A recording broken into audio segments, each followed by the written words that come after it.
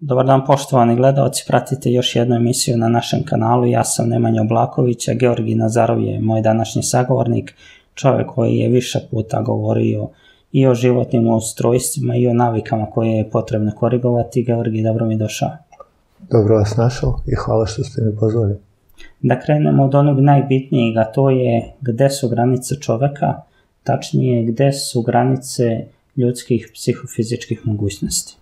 Ja mislim da u ovom trenutku mi možemo govoriti samo o granicama koje smo do sada negde dosegli, a mislim da se te granice sa razvojem čoveka konstantno se pomeraju. Pomeraju se granice u našem fizičkom, ostali u rukovanju našim fizičkim telom. Možemo dosta unaprediti svoje stanje, naravno sve zavisi od toga šta možemo izdržati zglobove, kosti koje je opterećenje, ali mislim da uvek postoji mogućnost dodatnog razvoja. Naprimjer, Garjajev dosta radio na istraživanjima kako možemo podstaći regeneraciju našeg tela i onda postizao izvrsne rezultate, na primjer u podmađivanju organizma, ako može kod daždevnjaka, kod guštera, da izraste ponovo oštećen rep, nogica. On to radio na čoveku pokušavajući da izazove obnavljanje i postizao sjajne rezultate u tome. Nisu bili savršene, ali ipak pokazali da postoji mogućnost razvoja i u tom pravcu.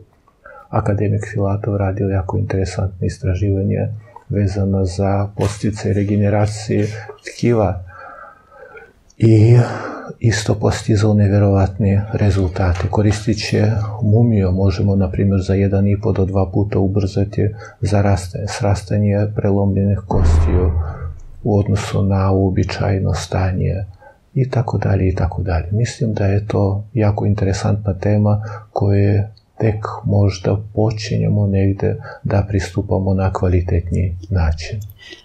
Kada si pomenuo, mogu naprosto i da ti persiram kako ti je lakše da e, dobri smo ovako pa možda i nema potrebe. E, kada si pomenuo da je važna regeneracija organizma i da je važno da čovek recimo nakon trošenja se ponovo vrati u svoju primarnu i normalno stanje, na koje načine se to može najbolje izvršiti? Jer u ovom vremenu je često regeneracija pomešana sa zalečenjem, a znamo da nisu baš isti termini i da nemaju isto značenje.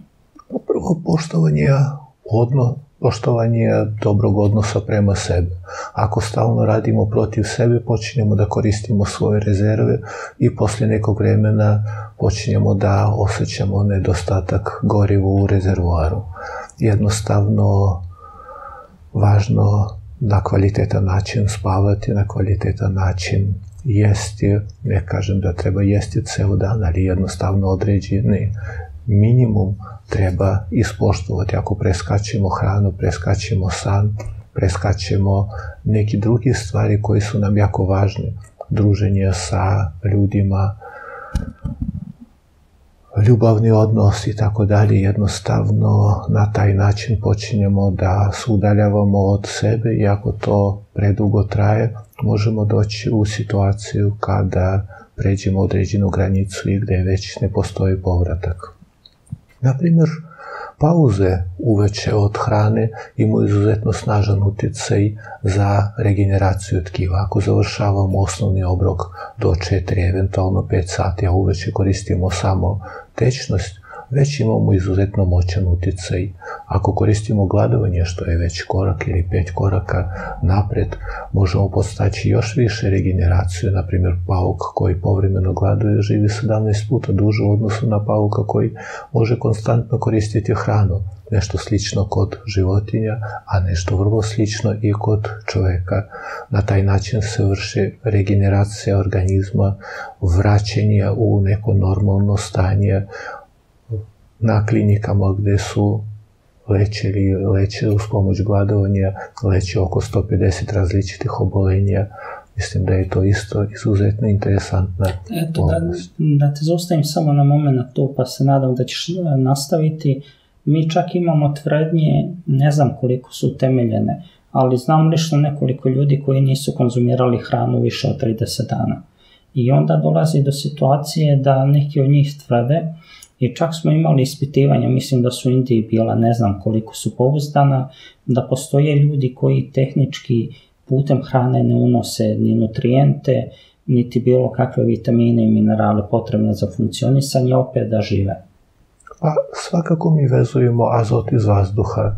Mi koristeći normalnu crevnu mikrofloru možemo stvarati određene vrlo važne za naše funkcionisanje sastojke. Jednostavno postoji i neki drugi načine našeg funkcionisanja. Koža može preuzeti u kritičnoj situaciji čak i do 20% disanja i tako dalje. Ruski naučniki su dosta radili u tim proučavajući te oblasti.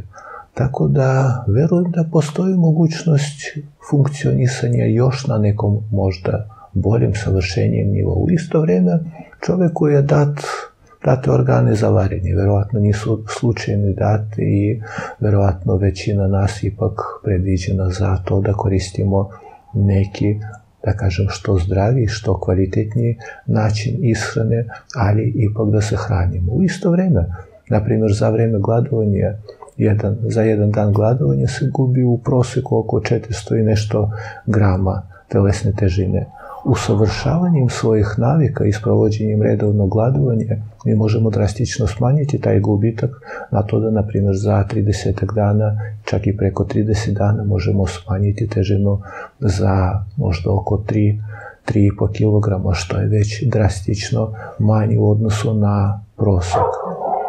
To je jako interesantna tema u kojoj mislim da imamo još puno toga novog što možemo da otkrijemo da se još malo zadržimo na ovoj temi pa ćemo detaljnije govoriti o samoj hrani. E, možemo početi od toga koliko je bitan sam ambijent u, čovek, u kome čovek boravi i na koje on načine se utiče na naše pre svega mentalno stanje i mentalnu čistoću i ima čak i ona priča da recimo u kladionicama ne postoje prozori da kada bi neko ušao unutra to bi ujedno postala personifikacija tamnog vilajeta, pa ne bi imao ni percepciju vremena, ni odnosa, ni svog ubijetka, što je njima najvažnije. Kako recimo obrazovati zdravu prostoriju i da li su u ambijentu možda najvažniji ljudi sa kojima komuniciramo? Pa mislim da je jako važno i to gde se nalazimo, vrlo važno da imamo više svetlosti, prirodne svetlosti, jer svaka veštačka svetlost je veštačka svetlost je jednostavno neka možda bolje podešena za rad našeg mozga i očiju, a neka manje podešena i ima više štetnog utjecaja, ali svakako treba da bude što više prirodne svetlosti. Mislim da treba da bude što više svežeg vazduha, ne govorim o osveživačima vazduha uz pomoć kojih pokušavamo na veštački način prečistiti s zagađen vazduh, nego jednostavno da svež vazduh stvaramo uz pomoć, da kažem zaista, Roma je sveže razmene vazduha sa vazduhom napolju. Ali većina nas pokušava da se sabije u gradove, na što manje mesta i samim time stvaramo sebe neprirodne uslove za život. Stvaramo uslove mnogo većeg zagađenja između oslog vazduha i onda samim time živimo u uslovima gde postajemo mnogo e, često postajemo neprijatelj prema sebe. Mislim da čovjek treba da ima određeni prost, životni prostor oko sebi i to je prirodno, kao što psu, mački, vuku i tako dalje, neophodan određeni životni prostor. Ako ga suviše smanjujemo, možemo uticati na promjenu u ponašanju, mnogo agresivnijem ponašanju, mnogo više nezadovoljstva, frustracije i tako dalje. A mislim da nešto slično se dešava i sa čovjekom. E, mi često kažemo da neko narušava naš lični prostor ako nije poželjen u našoj okolini, ali takođe postoji jedna stvar ili recimo jedan vid informacija koji dolazi putem medija i o tome sam ti obećao da ćemo pričati, koji dosta drastičnije narušava naš prostor, ali ga mi olako puštamo i često taj televizor koji je možda izvor velikog broja patogena, jer truje naš organizam držimo na centralnom mestu, od njega pravimo kult. Svakako, ja nemam televizor koji bi koristio, ako koristim televizor, više bi ga koristio za gledanje nekih edukativnih emisije ili nekih filmova koji su mi interesantne, ali uključivati televizor kao televizor, mislim da čovjek se osjeća usamljeno i onda pokušava da pusti nekog velikog brata u prostor gde živi, da stalno stvara neke zvukove kao da se nalazi neko pored. Mislim da je to poprilično greška. Velika greška. Treba da uključimo televizor ako već želimo da ga koristimo u vreme kad želimo nešto odgledati što nam interesantno i nakon toga ga isključiti. A naravno sada da ne govorimo o elektromagnetskom zračenju koje stvara svaki električni uređaj i koji ima svoje izuzetno štetno delovanje na naš organizam ako prelazi određenu meru. Tebi je verovatno poznato da je u Rusiji pre možda pola veka čak rađena studija o mikrotalasnim pešnicama i da je dokazano da one doslovno menjaju i narušavaju bioenergetsko polje u svojoj okolini, pa su bile zabranjene na period možda od 10, 15 ili 20 godina, onda su opet pod pritiskom zapada vraćene u upotrebu. Pa jeste kao što nijedna mikrotalasna peć ne dihtuje u potpunosti i onda kao što se na brzinu nešto kuva u mikrotalasnoj peći, nešto slično se dešava i u prostoru oko mikrotalasne peće. Mislim da treba dobro razmisliti da li uvek želimo tako nešto sebe da radimo. Takođe, ono što ljudi često sebi rade jeste da nametnu neke obaveze koje su možda suvišne ili prevaziđene, ali verujem da se nekako ugledaju baš u tom srpskom tradicionalizmu. Ne znam koliko toga ima u Rusiji, daleko si kompetentniji za tu temu prijatelju, a radi se onom i zanimljivo mi je što si naveo taj primer da odemo kod nekog jednom na slavu i odemo sledeće godine i vremenom izgubimo kontakt sa tom osobom mimo iđu nam se putevi, naši stavovi su drugačiji viđenja, ali mi i dalje idemo iz godine u godinu i na svakoj slavi tom domaćinu obećajemo kako ćemo se te prestojeće godine sigurno daleko češće viđati. Jeste, Nemanja, čovjek se razvije kroz život i menja se. Neko postaje pametnije, neko postaje gluplje, to je prirodan proces. Ali jednostavno kroz tu promenu mi često menjamo i svoje okruženje. Imamo potrebu da promenimo prijatelje i ljudi sa kojima komuniciramo. A ako mi stalno funkcionišemo u istoj šemi, onda nam i tekako ometa mogućnost promena. I onda zbog neke vrste reciprociteta, zbog toga što smo jednom posetili nekog kom nam možda uopšte nije, sa kim nismo se osjećali uopšte prijatno, a onda te osobe morali da dođu kod nas, morali smo da uzvratimo posetu i onda ponovo, ponovo, ponovo i onda to godinama traje, uzima nam ogromnu količinu vremena, negde i novca, prostora, a mi i dalje to radimo. Ako vodimo neosvešćen život, to ima poprilično veliku cenu. Daleko od toga da je samo u novcu. Ja mislim da uvijek treba biti svestan sebe i osvešćivati svaki svoj korak zašto to radimo i da li to želimo. Postoji takođe i određeni broj osoba koje u suštini uopšte nisu u stanju da prekinu kontakt sa nekim. Ne znam da li si se susretao sa tim. onda ostaju u vezi koja je loša po njih, u prijateljstvu koja je loša po njih i stalno to prolongiraju za neko sutra, sutra i sutra, a onda svoje nezadovoljstvo proizvedeno iz te slabosti, da ne mogu okončati, manifestuju na ljude oko sebe. Jeste. I od tog nezadovoljstva proizlazi jedna velika unutrašnja napetost koju često ne smemo ispoliti prema određenim ljudima, na primjer ne smemo ispoliti na poslu, ali i tekako ispoljavamo, na primjer u kućnim uslovima, na deci, na određenim nama bliskim ljudima i onda dolazi do jako velike devijacije u ponašanju. Jednostavno jako važno vidite s kim nam prija, s kim nam ne prija da provodimo vreme. I sasvim je prirodni tok da vremenom odlučimo da s nekim više ne želimo da provodimo vreme. Jednostavno to je del našeg razvoja ili ne razvoja. I to je sasvim ok, jer ovako vrlo često se dešava da situacija za jedan dinar, na situaciju za jedan dinar mi reagujemo na 10 dinara, a ostalih 9 dinara nezadovoljstva dolaze iz nekih potpuno drugih situacija gde mi osjećamo nezadovoljstvo i napetost. Mislim da ne postoji cena koju možemo da platimo za to da funkcionišemo u uslovima u kojima možemo biti nezadovoljni i nesrećni. Uvijek težimo, treba da težimo ka tome da se osjećamo zadovoljni i srećno, a onda ćemo uvijek i stvarati nešto lepo oko sebe dovoljno imati par osoba sa kojima funkcionišemo na nesrećan i nezadovoljan način da bi se to i tekako odražavalo na celokupnom našem životu.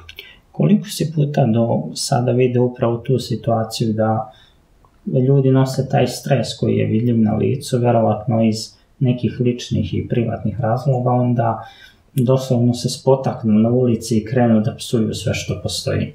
Jako često. A to kako ljudi funkcionišu zapravo možemo vidjeti po brzini njihovog kretanja. Stanemo negde u centru bilo kakvog grada i merimo za koje vreme ljudi će proći 100 metara. Što brže prođe, više su pod stresom i više su napete.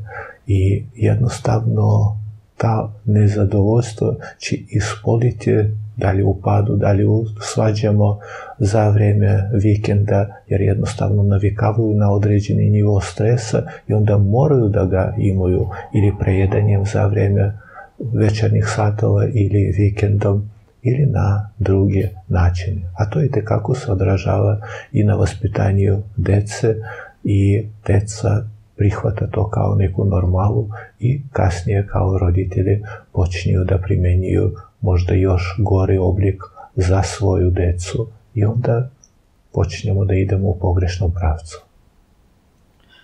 Da pomenemo takođe i samu duhovnost. Ona je unutrašnja komponenta, ali unutrašnja komponenta koja je nemerljiva. Koliko je, recimo, za tebe kao čoveka važno biti duhovan i pošto danas imamo veliki broj učenja, imamo zvanično preko 4000 religija, da li zaista postoji jedna ispravna ili je možda ispravnije da čovjek bira prema tome kako se u ovom učenju osjeća? Ja mislim da najispravnije da poštojimo merilo koje postoji negde u svakom od nas. I nezavisno od toga kojoj religiji pripadamo, možemo biti dobre ili loše ljudi.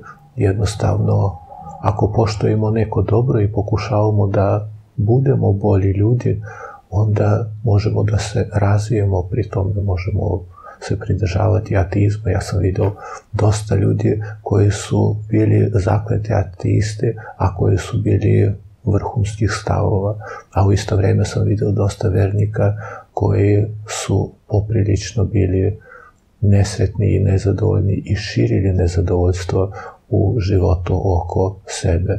Ja mislim da osnova neke stabilnosti je u nama, a ne u hramu u koji idemo da bismo pokazali poštovanje prema Bogu.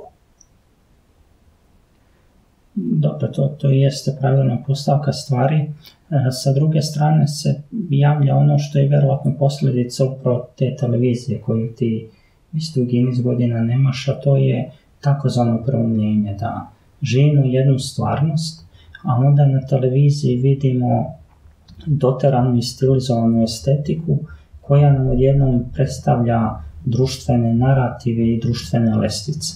I onda čovek gledajući nešto što je montirano i što je lažno, gubi sebe da bi doslovno postao nešto. Pa sad, kad, kad hoćeš da slomiš lim, malo ga saviješ na jednu stranu, malo na drugu stranu, što je jako lepo opisao jedan moj prijatelj koji živi u Kanadi. I Poslije nekog vremena taj lim pukne. Nešto slično se dešava i sa naši, na, našom psihom. Danas se prikazuje jedna realnost, sutra potpuno druga realnost, preko sutra opet vraćanje na staro i negde mi ne izdržimo i pucamo. Jednostavno ne možemo imati formirane poglede. A mislim da se na tome dosta radi, ali u isto vreme imamo mogućnost da prihvatamo neka prava znanje, pravi vrednosti, a merilo mislim da postoji u svakom od nas, negdje duboko u nama, samo pitanje da li uspevamo da to prepoznamo ili time što imamo konstantne neki fizički i mentalne prenadražaje, prejedanja, bolovi u leđima, žurba, svađa i tako dalje, jednostavno udaljavamo se od sebe i onda radimo protiv sebe i protiv drugih. Da, to, to jeste možda centralno pitanje i centralna problematika danas, da je čovjek taj koji je svoj najveći neprijatelj zapravo. Može da bude svoj najveći prijatelj, može da bude svoj najveći neprijatelj. Sve zavisi kako se postave. Mislim da važna suština koju mi radimo, mislim da važan razlog zašto svako od nas se nalazi na ovom svetu. Mislim da uopšte nije slučajna neka vrsta sinhronizacije sa, sinhronizacije sa kojom se suočavamo se u svakodnevnom životu. Mislim da uopšte nije slučajno to što određeni ljudi počinju da pišu knjigi tačno na određenu temu u različitim delovima zemaljske kugle, a nikad pre toga nisu pisali, kao što, na primjer, ako uzmemo dva puža koji su bili par i odvezemo jedan na drugi kraj zemaljske kugle, jednom prenesemo vrelo, vreli metal prema, da kažem, glavi, on će se uvući u, svoj, u svoje telo. Isto trenutku isto će uraditi njegov par na drugom delu zemaljske kugle. Postoji neka vrsta sinhroniciteta, povezanosti koju možda ne poznajemo ili ne poznajemo dovoljno, a svakako vredi bolje shvatiti. Kao što bliski ljudi uglavnom jako dobro osjećaju kada nešto se dešava njihovom partneru ili bliskoj osobi. Mislim da to je jako interesantna oblast koju vredi razvijeti i upoznavati. Ne udaljavati se od sebe, nego zapravo biti bliže sebe, a onda nećemo praviti greške. Ali ako čovjek zadovoljan i srećan, njime teže manipulisati. Jednostavno, što smo srećniji i zadovoljnije, manje smo poželjni. Ali što više čovjek zadovoljan ima svoj život, on može mnogo više shvatiti, vidjeti oko sebe i uvijek će se truditi da naprave neke bolje okolnosti oko sebe. Pitanje je da li je to pravac u kojem želi da ide veći deo, u stvari ne veći deo sveta, nego onaj ko upravlja ovim svetom. Zanimljivo je to što se rekao ima toliko smisla. Što je čovjek srećni manje je poželjan. I zaista je sredina takva da ne trpi srećne ljude. Ako je čovjek nasmijan, 9 od 10 ljudi će reći pa ovaj je jurodiv, on je umnobolan, kako se u ovoj situaciji može smijeti. Da, kao što za vrijeme rata jedan od redkih načina izvuče se čak i u okružen neprijateljima bio pokazati da ti teško i loše i onda kod ljudi se uključuje mehanizam ajde da pomognem toj osobi. Ako osoba pokazuje sreću, snagu, zadovoljstvo, uglavnom će drugi pokušati da ga udare po glave i da ga spuste. Da također pomenemo još neke bitne fenomene, vratit ću se na ono što se govori u prethodnom pitanju, pa ćemo onda lagano ići dalje, a to je sinhronicitet koji postoji među ljudima.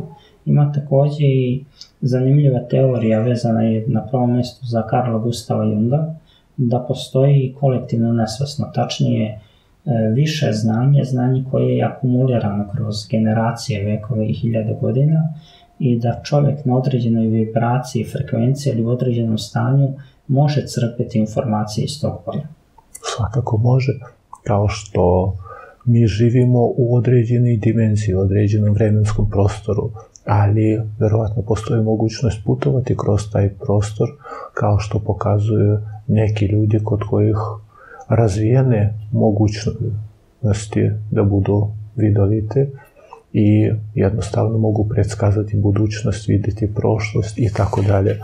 Jako interesantne eksperimente vršio ruski nauč, poznati naučnik Kozerev, poznat na primjer po ogledalima Kozereva, stavljajući ta ogledala u obliku neki čarobnjačke kapi ili vedra na glavu, kod ispitanika na velikom rastojanju uspevao ne samo da ljudi tačno kažu šta bilo, koji predmet bil zamišljen ili koju misao imala osoba od koje je trebalo pročitati misli, to su birali potpuno obični ljudi koji nisu imali veze nikakve sa vidovitošću, nego što najinteresantnije, još par sati pre nego što osoba zamislila u eksperimentu šta će zamisliti da bi se prenela ta informacija drugoj osobi, osoba koja je trebala da otkrije misli te osobe znala unaprijed šta će ta osoba pomisliti. I to je delovalo potpuno neverovatno. Da, to, to je pomalo neobjašnjivo sa naše tačke gledišta gde smo navikli da se bude po nekom matematičkom redosledu i ustrojstvu. Koliko zapravo ima ti stvari koje se ne mogu svesti ujednačine ili objasniti polinomima, trigonometrijom i sličnim matematičkim funkcijama? Pa mislim da mi imamo određeni sistem koji se održava. Znanje redovno se spaljuje. Spaljuju se biblioteke, spaljuju se mesta gde su držali neke zanimljive, važne rukopise i onda mi uglavnom imamo određeno kontrolisano znanje koje nam se predstavlja i živimo po tom znanju. U nauci postoji vrlo određeno usmerenje i onda svako ko pokušava da izađe van tih usmerenja, uglavnom bude ismejan i bude van te priče. I naravno, ta, to usmerenje koje mi imamo u životu objašnjava otprilike, da dosta stvari škripe, kako mi možemo funkcionisati i kako funkcioniše svet. A mislim da su stvari zapravo mnogo dublje, interesantnije i mislim da mnogo toga možemo saznati od naučnika koji su krenuli malo nekim svojim više putem, razvili neka svoje saznanje i pored toga što su bili možda u tom trenutku neshvaćeni, posle nekog perioda vremena postaju i tekako ljudi ispred svog vremena i njihovi sistemi postaju prihvaćeni. Kao što verujem da Teslina saznanje u njegovom periodu možda nisu bila prihvaćena jer čovjek nije bio spreman da ih tada prihvati. A i sada mnogo toga jednostavno ne razumemo. A samo pričamo o Tesli, postoji puno ljudi koji su pomerili svet na unapred, a mi ih nismo shvatali. Pogledamo naj, na primjer, Da, Vin, da još e, jedna bitna stavka i ona je vezana nekako za dosadašnju priču, a to je pregršt informacija koje nam je doneo ovaj tehnološki aspekt naše života i uopšte eto, činjenice da godine lagano prolaze. Kako čovek da selektuje ono što dolazi do njega. Ima čak i jedna zanimljiva izjava da cilj informacija uopšte nije da čovek u njima razmišlja, nego da ih bude u toj meri da ne stigne ni da pomisli na svaku od njih. Tačnije davat ćemo vam informacije da vaš mozak ne bi mogao da ih absorbuje. Naravno, što više smo zbunjene, lakše upravljati nama i postojano zaklupljenje. Ranije svaki uređaj koji smo kupovali, čitali smo uputstvo i dobro smo znali kako rukovati tim uređajem. Sad imamo toliko uređaje uz koji ide debela knjižurina koju treba pročitati o načinu rukovanja, da nam je muka od toga i većina nas nikad nije ne pročita uputstvo za korišćenje veš mašine, televizora i tako dalje. Što najgore, mi ne znamo uputstvo kako upravljati sami sobom. I to i tekako se odražava na tome da često idemo stran puticom često usmerenjima koji nisu naše, a vrlo često naši roditelji ne znaju koje usmerenje zauzeti, jer su i sami zbunjeni i preopterećeni često potpuno nepotrebnim informacijama. Ponekad je i savjet nepotrebna informacija i često su najlošiji savjeti oni od strane osoba koje nas najviše vole, zato što se trude da nas zadrže u nekoj zoni konformizma kako ne bi istupili možda pretrpjeli izvesnu štetu.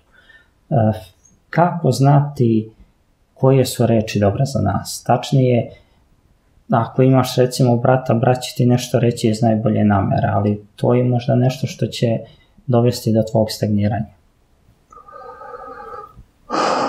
Prvo, da bi neko dao savjet, treba dobro da poradi na tome da bude dobar u toj oblasti.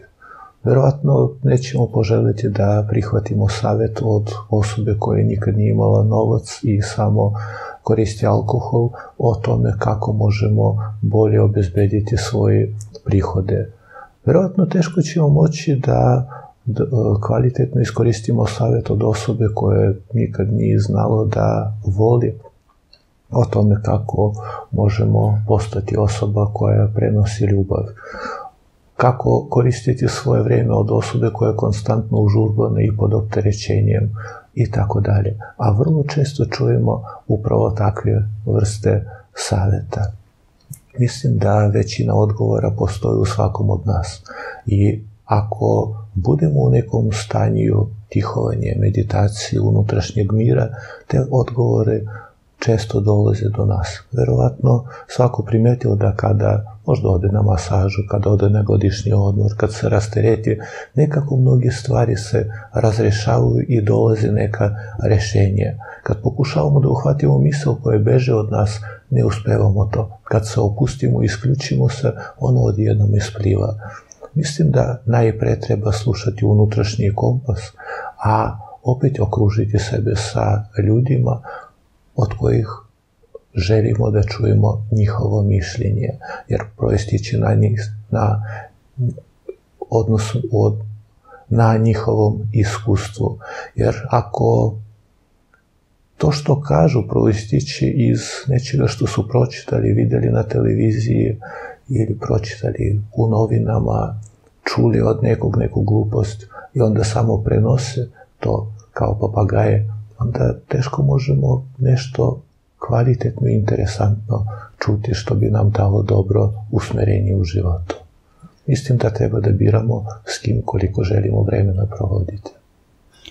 I vreme za ljude, makar na ovoj zemlji, nije neka beskrajna kategorija i nelimitirana. I pričao sam sa nekoliko lekara.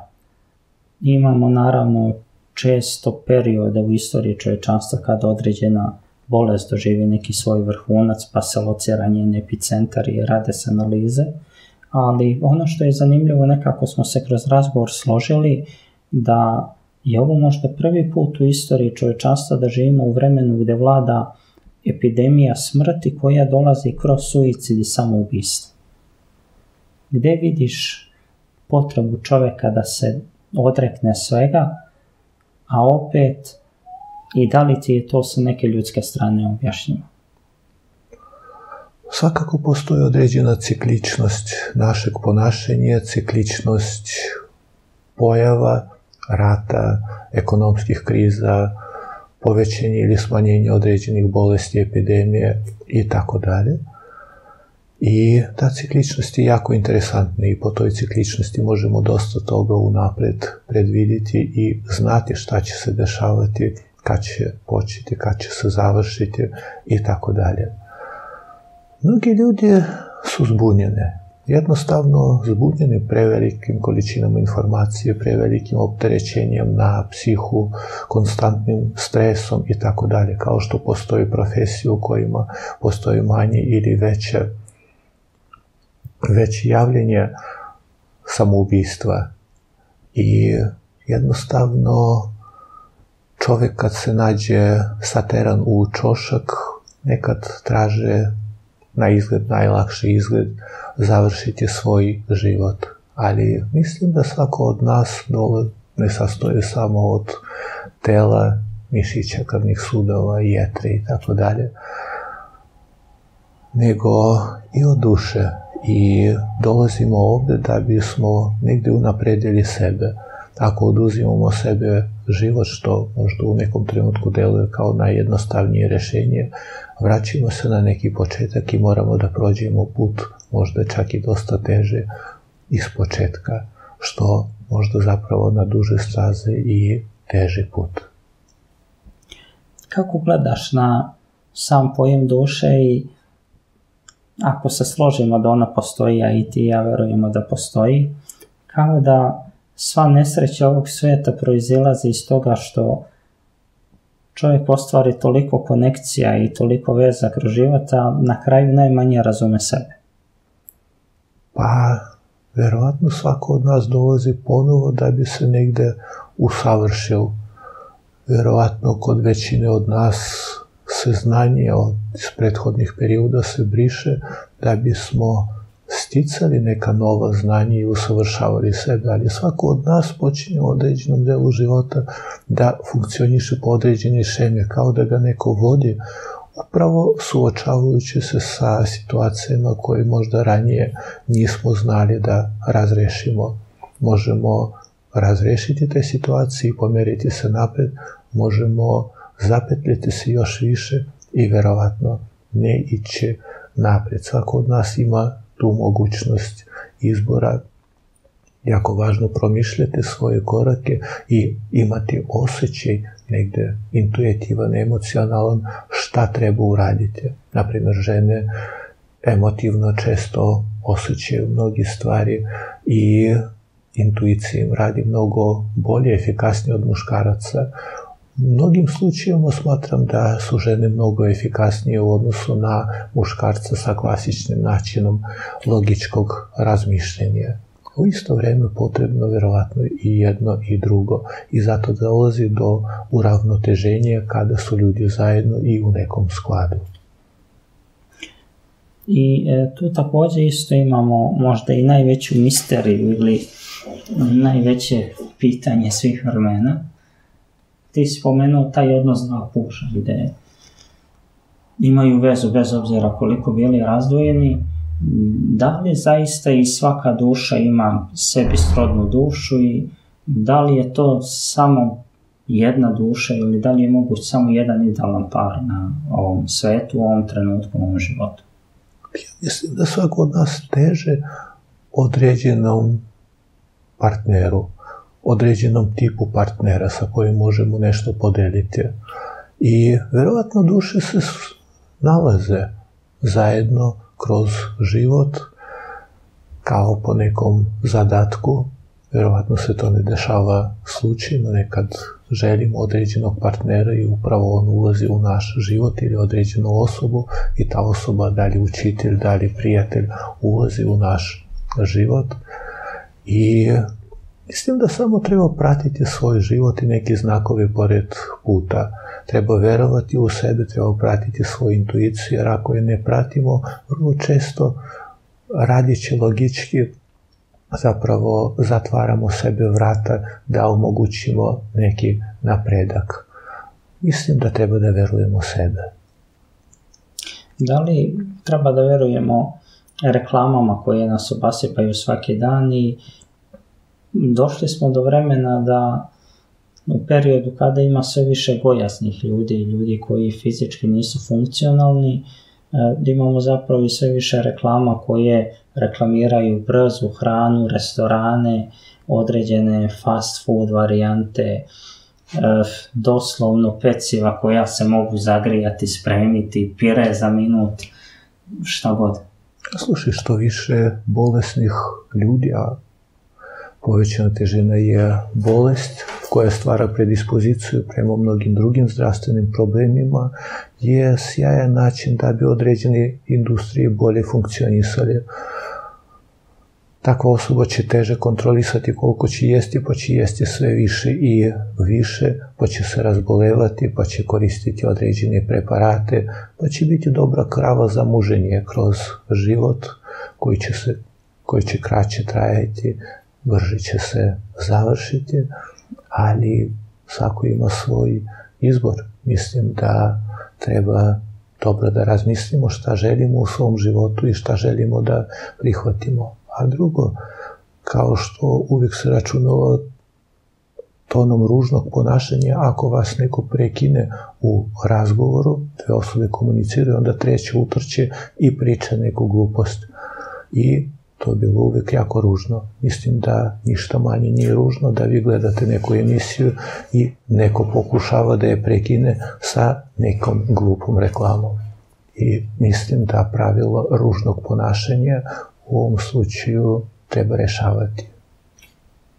Ima e, također jedna teorija koja zapravo verovatno i nije teorija, a to je da samim strukturama koje se onako pomenu i korporacijama koje verovatno kontrolišu ogromnom broju dešavanja na ovoj planeti, uopšte nije u cilju da čovjek bude zdrav i da živi kvalitetan život, nego da on bude potrošač medikamenata koje oni proizvode.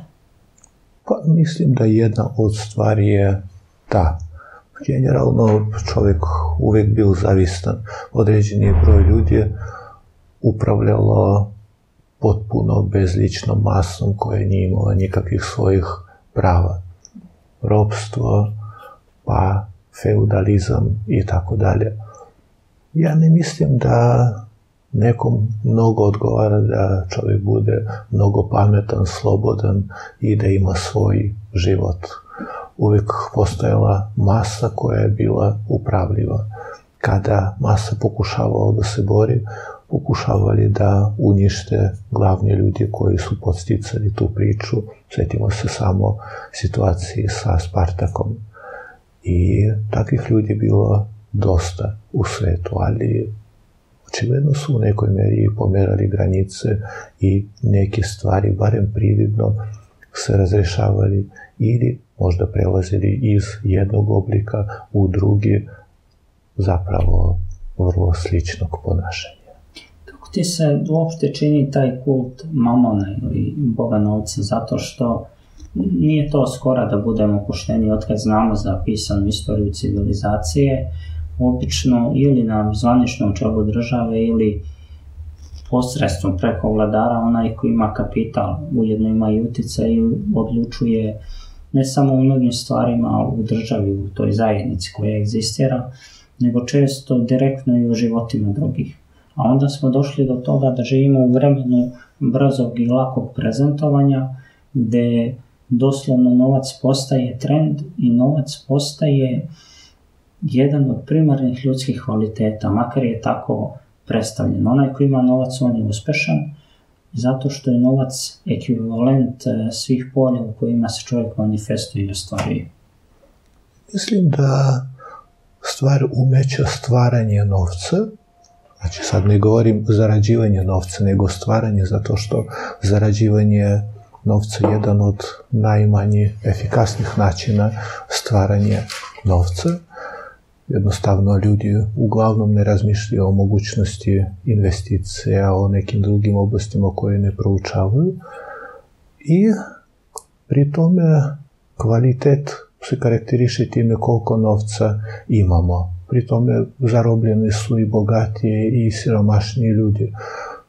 U zapadnim zemljama kada osoba dobije povećano platu, neko novo mesto, on odmah mora da pređe u skuplji stan, da vozi skuplji auto, da uzme skuplji sat i tako dalje, da bi se prikazalo. I onda nedostatak kod nekoga od par hiljada evra prelazi u nedostatak od par desetine ili stotine ili miliona evra. Jednostavno tako funkcioniše zapadni svet da niko ne bi bio previše slobodan.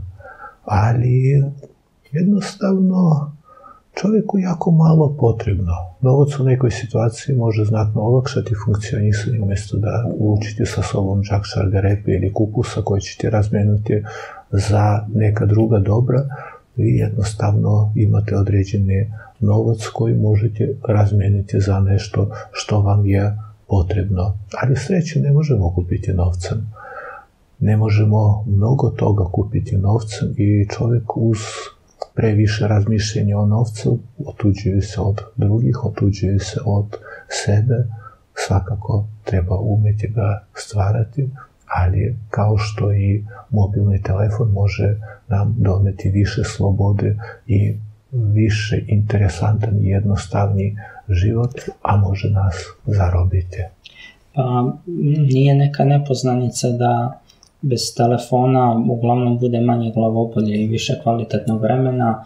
Šta po tebi još utiče i na čestu pojavu migrene i povišenog pritiska i to hvatanja za glavu, pa pomračenje pred očima neredko?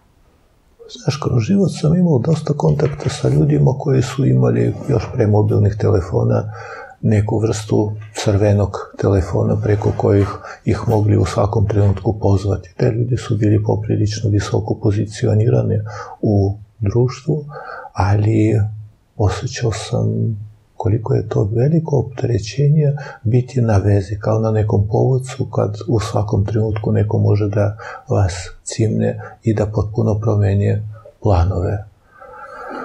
Sada se to dešava da ne moramo imati crveni telefon. Sad većina ljudi funkcioniše na takav način i stavila sebe u te uslove iz kojih nije baš lako izaći. I na takav način se stvara veliko stezanje mišića, pogoršanje protoka krvi prema mozgu, povećani krvni pritisak, osjećaj stezanje u stomaku, gomila zdravstvenih problema, jedenje na nervnoj bazi, a čovjek ne zna šta mu stvara opterećenje. Jednostavno, važno u životu znati šta stvara veću slobodu i težiti ka tome. Jednostavno znati svoje mogućnosti. Šta želiš, šta ne želiš u životu, šta možeš, šta ne možeš. Postavljati sebe što realnije ciljeve, jer postavljanje nerealnih ciljeva stvara nemogućnost njihovog ispunjavanja, a onda mi ili počnemo previše da se borimo da bi ostvarili nemoguće ciljeve, ili počnemo da se osjećamo frustrirano da smo nesposobni da ih ostvarimo. Zamka je jedno i drugo. Pa e, danas je možda i veliki problem to što se ljudi kada recimo govore o svom snu, oni ga zapravo često poistovete sa ciljem i uopšte nema više razlike između te emotivne i duhovne komponente sa jedne strane, sa onim što bi trebao biti ako govorimo konkretno o cilju neki materijalni produkt sa druge. I kao da ljudi zanemaruju blagodat samog putovanja i ne shvataju da ti je cilj, eto koliko god banalan bio, da voziš jako skup automobil, onog momenta kada uđeš u taj automobil, pa nakon 100 metara neće ti značiti puno. Dostigao si, ali ono što te je možda dovelo do njega, bez obzira što je ovo banalan materialistički pristup, može imati daleko veću vrednost, jer si potencijalno morao da menjaš više poslova, da upoznaješ ljude, da se odričeš i suzdržavaš od nekih stvari. Da se razviješ. Jednostavno morao si da se razviješ da bi došao do tih materijalnih dobara. I na takav način čovjek jeste napreduje, stiče neko iskustvo koje nosi kroz život, a on je igrački pokloni koji mi sebe dajemo, poprilično brzo postaju dosadne i nepotrebne, sem ako su zaista neophodne. Znate, čovjeku ranije je bilo ne, neophodna odeća, obuća i koristio je dok ne potroši poslije toga kupovao nešto sljedeće. Onda su napravili reći moda da bi ljudi mogli da kupuju neki potpuno nepotrebne stvari dok još nisu potrošili prethodne. Znači nije bilo više zastarevanje da obuće ili odeća za stari ili auto, nego pravili su novi način zastarevanja. Malo su menjali boju koja je bilo u modi, malo menjali oblik odeće ili obuće ili auta. I onda osobama ljudi uglavnom su osjećali nekako neprijatno da voze nešto staro što više nije prihvatljivo. I na takav način se podstiče povećana prodaja, zapravo da ljudi postaju konzumente, konstantne konzumente, gomila različite gluposti koje poslije vrlo kratkog vremena im postaje nepotrebna. A jedna dobro dugme da se pritisne ludilo u glavi su određene reći, na primjer reč popust. E, to je zanimljivo. Mi smo imali taj takozvani crni petak i zaista je crn kada pogledaš šta ljudi sebi rade da bi kupili neku majicu za 100 dinara jeftinije, ali ono što je zanimljivo, išao sam baš u jedan tržni centar dan pre toga i gledao sam cene da vidim da li će se potvrditi ono što se zapravo dešava manje više uvek, a to je da na većini tih artikala kada dođeš sutra oni podignu cene, pa sa uračunatim sniženjem ili budu nešto blago snižene tipa 5 od 100 ili to bude cena koja je stajala juče. Naravno, naravno, ali onda se javlja zaslepljujuće ludilo i jednostavno treba prodati proizvod. Živimo u društvu koje funkcioniše na takav način. Nema vrednosti da šta ste napravili, šta ste naučili, šta ste uradili, šta ste stvorili, nego koliko ste pokupovali, da li je vaša kuća veća u odnosu na drugu, da li skup, voziti skuplji auto, i ako idemo u tom pravcu, a idemo, nažalost, to baš i nije najbolji pravac, jer onda i u poslu često se suočavamo sa mnogo više nepravde. Ako ranije ljudi nekako podržavali jedni drugi bili korektni jedni prema drugima u ovoj situaciji kada novac rukovodi nama, često se javlja mnogo nepravde i ona postoje potpuno opravdana sa strane većine, jer jednostavno cilje opravdavaju sredstva. Kakva su nam sredstva, kakav je cilj? Pa sredstva su nam ogromna. Sredstva da imamo svoj prostor, životni prostor. Ja mislim da mnogo lepše kad čovek ima i neko zemljište ko sebe, onda se osjeća nekako stabilnije i jači nego kad živi u nekom kokošatniku na više spratova gde se plaše da pomeri sto uveće, da li će stvoriti zvuk kojim će smetati drugima.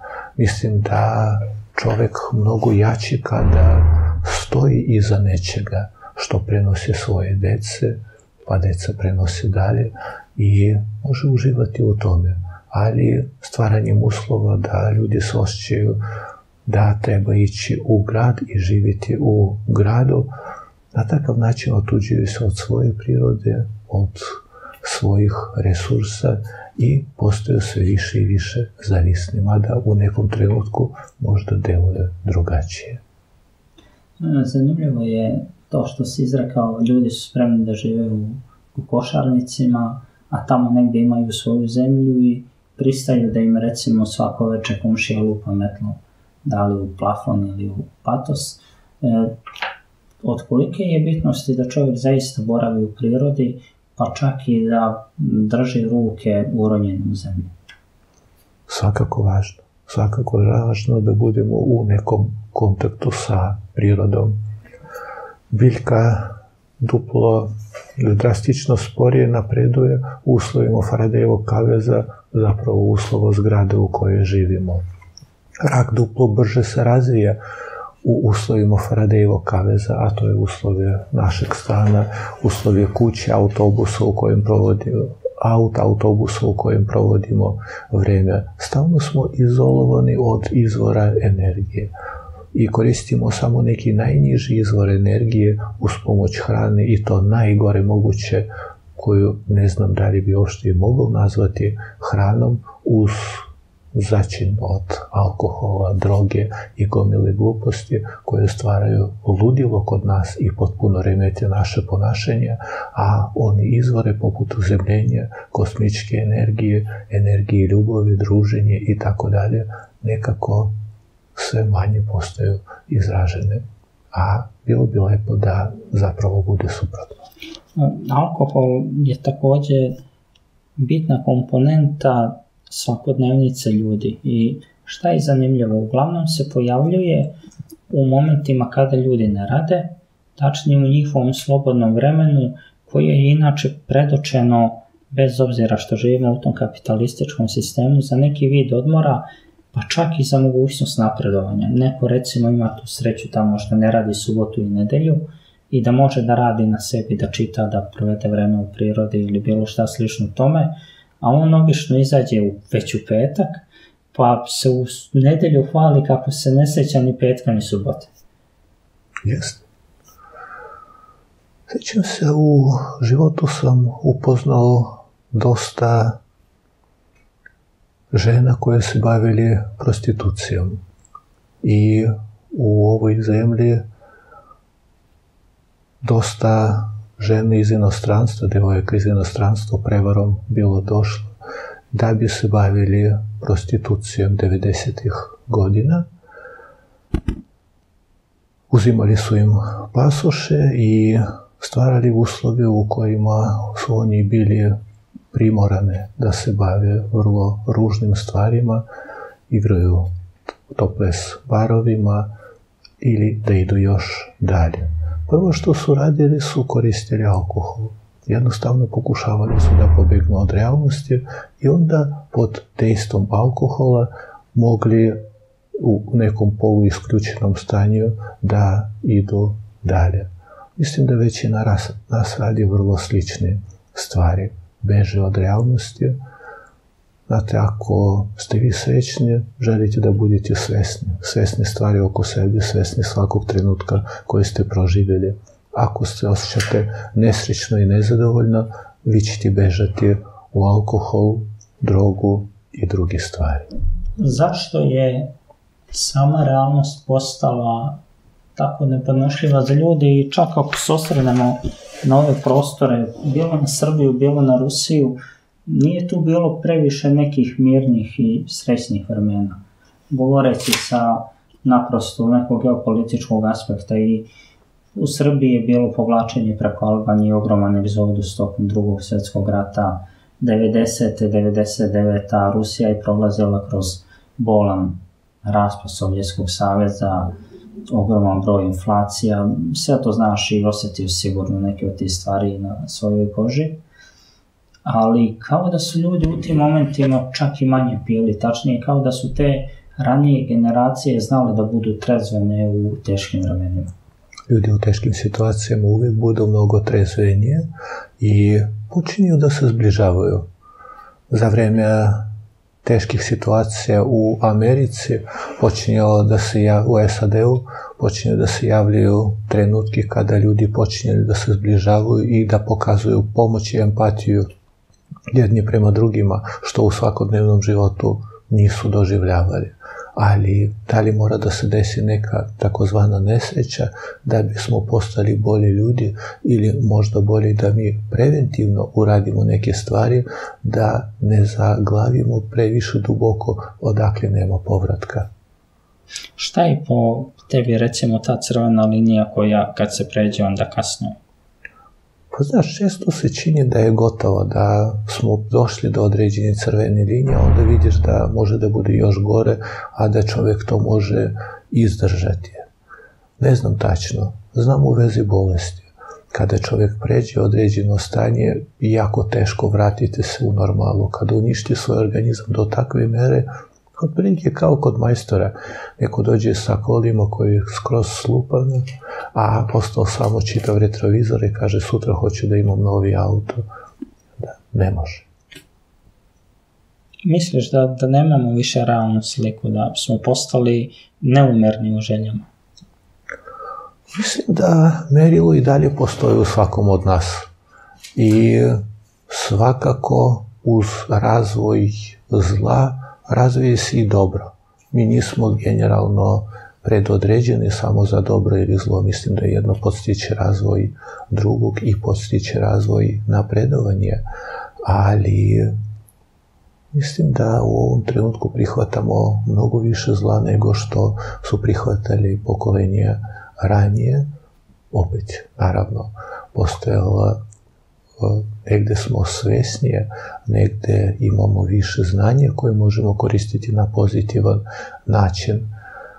Tako da mislim da uvek uz zlo se razvije i dobro i neke teme o kojima ranije ne bi pričali kao što vaš kanal nije postojao pre 20-30 godina, a sada postoji jer očigledno teme o kojima mi sad pričamo su postali aktuelne kao što tema zdravog života ranije je bila samo makrobiotička ishrana, ljudi drugačije nije, dalje nisu dosezali uglavnom, a sada mogu pričati o mnogo više tema. Nikako ne podcenjuje makrobiotičku ishranu, ali uglavnom ljudi kada govorili o nekoj promjeni ishrani, govorili kao u makrobiotička ishrana koja je uspjela da se probije na ovom prostoru, što je sjajno. Neka vrsta pozitivne promjene se desila, nezavisno od toga da li ja podržavam makrobiotiku ili ne. E, to je zanimljivo da otvori se jedna oblast, e, možda čak i sa neke banalne strane, ali ako joj ljudi, ako joj okolina kao ideji puste da diše, onda zaista to može da se reflektuje na neke dobre stvari. Naravno, naravno.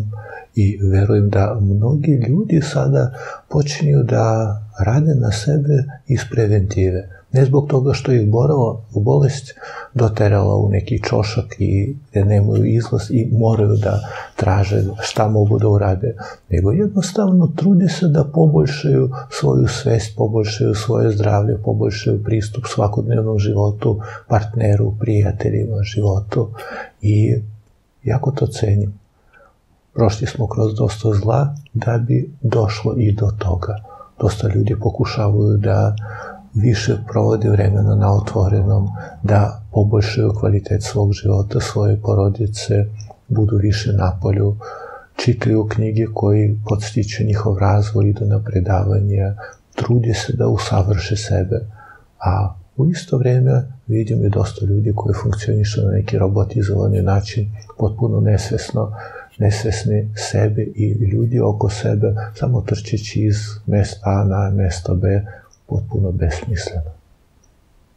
Eto ja, ja se nadam da će ljudi nakon ovog našeg razgovora početi malo i da razmišljaju na putovanju ili proputovanju između te dve tačke.